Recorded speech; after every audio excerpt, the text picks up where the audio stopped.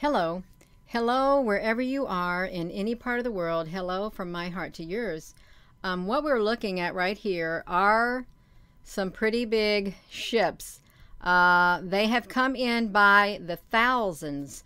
You may say, well, Gina, what type of ships are you talking about? I'm talking about UFO ships. I'm talking about light ships um, that I took myself with my iPhone 8 and my clip on lens. Um, you may say, well, Gina, um, how is that possible? Why are you the only one getting images like this? I've had that question asked of me so many times, uh, and I didn't know what to say. But guess what? Others spoke up. She was chosen to. So then that's what I kept telling people. I was chosen to get these images. And um, I was, okay? And I, I do have a four year time frame um, of doing what I'm doing now. Uh, it was back in around June of 2018. It could have been a few months afterward, uh, but it was not before then because that's when I put my Facebook public and that's when I really started uh, taking pictures and sharing pictures, okay? So, uh, and uh, if you don't know the story behind it, it's a, I was standing out on my porch. There was three beings came down in a beam of light on one of my main convergent uh, lines where they all converged. It was a short lady. Uh, it was a small tan extraterrestrial that was right next to her, less than three feet. And there was a young lady with long brown hair who stood on my porch uh, looking over toward the eastern sky. Uh, and she really did look like me when I was younger with my long brown curly hair, wavy hair.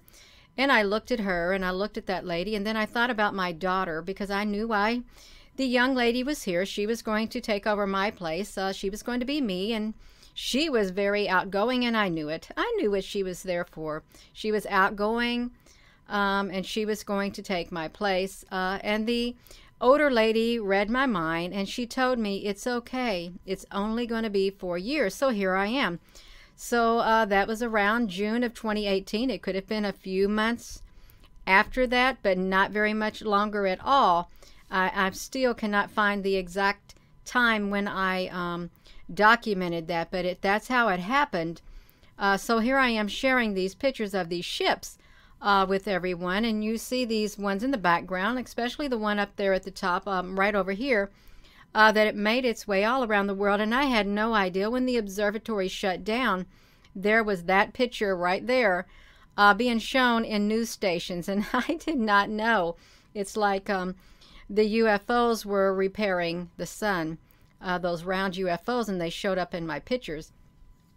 But um, yeah, look at these pictures right here. They're so they're so interesting and and they're undeniable. You, you there's no way you can say that they are not ships unless you just want to be in complete denial. Um, we are living in very interesting times. Uh, we are living in unprecedented times, and um, we are living in times that are unparalleled. uh, yes, in nature uh, and they're going to become even more so. So um, we really do need to pay attention. We need to keep our eyes open. Uh, we need to be aware of our surroundings at all times, and we need to be watchful uh, and prayerful. Uh, and we need to keep that energy inside of us way up there. We need to be positive. Don't let the lower lower energies get to you. Don't let the negative settle in you. We've got to keep our spirits high because times are changing and they're changing fast. So we need to stand firm and we need to be prepared right inside of here.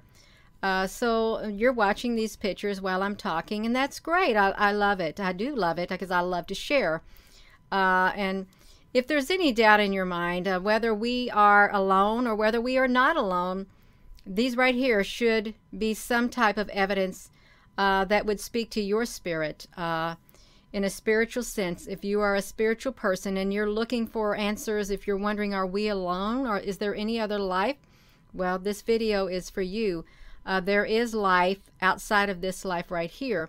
There are other races, there are other beings, um, and they're not all fallen angels, okay? We have benevolent beings in the skies above. Uh, they are interdimensional. They can even walk among us, amongst us, just like the malevolent beings. Uh, they're interdimensional and they walk among us too.